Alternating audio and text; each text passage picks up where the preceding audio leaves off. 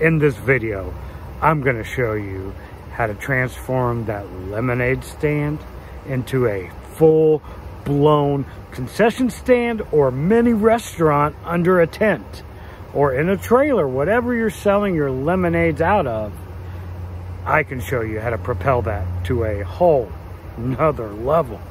This is Mike, the Caesar of concessions. If you're selling lemonade and kettle corn and you're, you know, you really want to make more money uh, and propel your business to astronomical levels, I'm going to show you how to do that. We're going to transform this business totally for you today. And we're going to start off with the equipment and the food products that I think you should be selling along with your lemonades or your lemonades and your kettle corn, whatever you're doing.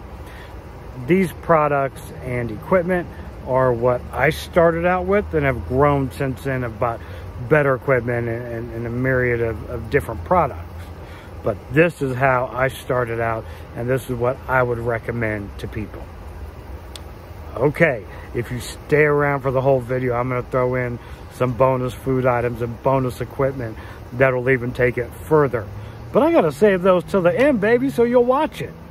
Okay, the first piece of equipment you're going to need to buy is a microwave. It could be a really small microwave. The, the size is irrelevant. I would go with a small microwave. The purpose of the microwave is to cook Bavarian pretzels. They only need like 30, 30 seconds if they're thawed and a minute if you kept them frozen.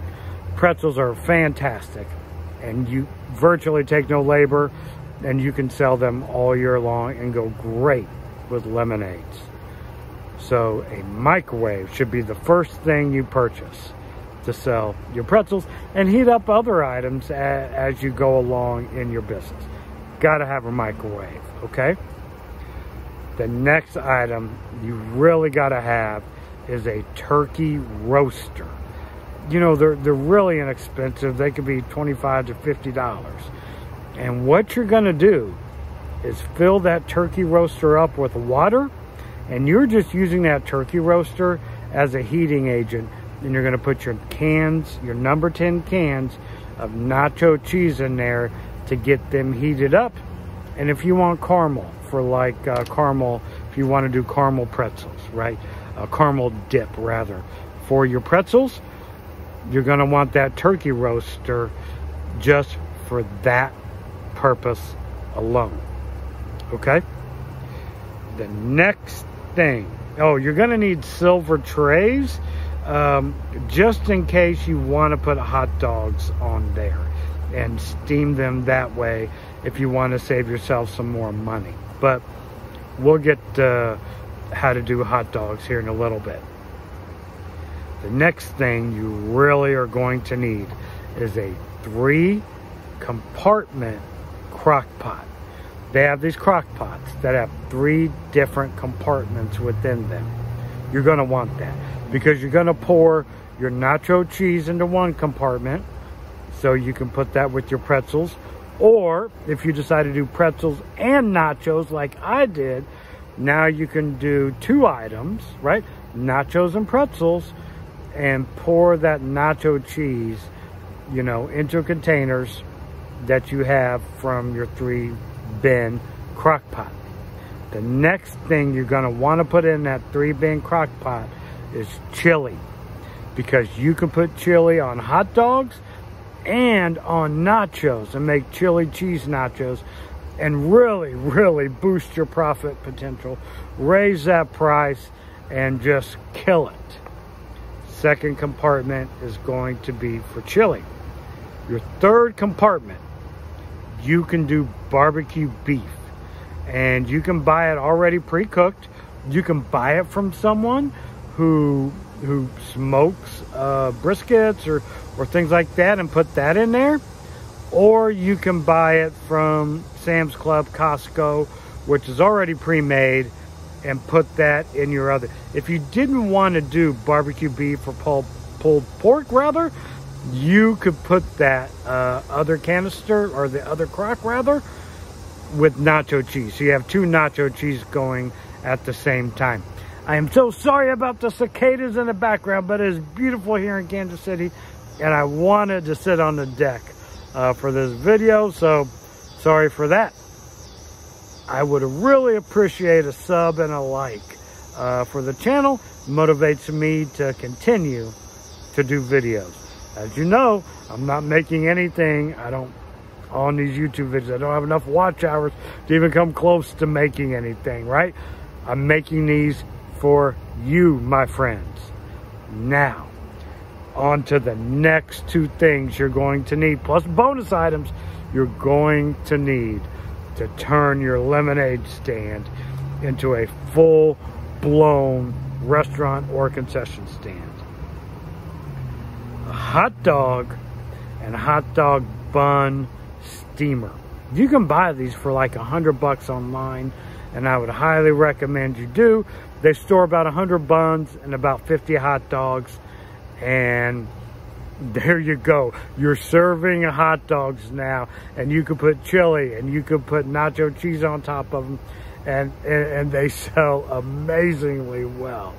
And it's a very low cost to you and and you can just push hot dogs along with your lemonade, your kettle corn, your nachos, your pretzels, and just really kill it with this equipment.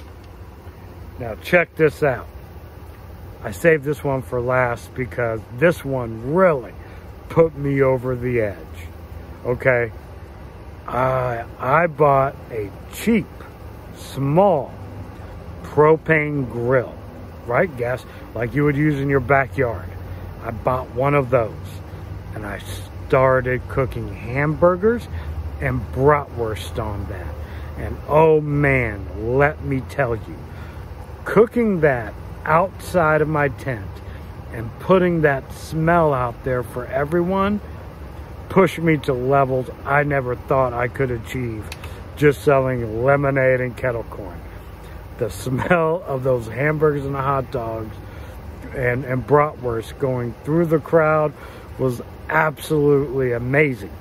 Now, if you've noticed, these products I've listed so far, they all work together. The equipment coincides with multiple products, right? We're, we're cooking hot hamburgers and hot dogs or bratwurst, but you can still put chili on a hot on a hamburger. And people with nacho cheese, people will absolutely buy it. Now, I know it sounds a little off the wall, but chili cheese hamburgers sell really well. And I haven't seen too many people selling them. And so you have a unique menu option along with, with just regular hamburgers and hot dogs if you didn't want to do that. Or, or cheeseburgers and hamburgers if you didn't want to do the, the chili on top of your hamburgers. Um, you can cook bratwurst on there. So now you have bratwurst. You have cheeseburgers you have hamburgers, you have nachos, you have pretzels, you have lemonade. And honestly, you can do this with two people. Three is better because the volume will, will be nuts. But two, you can do it with two just fine. The guys and gals that are working with you just got to be a little bit flexible and be able to have a strong work ethic to go back and forth and do a couple different items. Now some bonus items. And I've mentioned these before, but I really think it's important. Selling boxes of candy bars out front. Your M&Ms, your Snickers, whatever. Have that on your, out there on your table. They take no labor. Prepackaged cotton candy. Takes absolutely no, excuse me, labor whatsoever.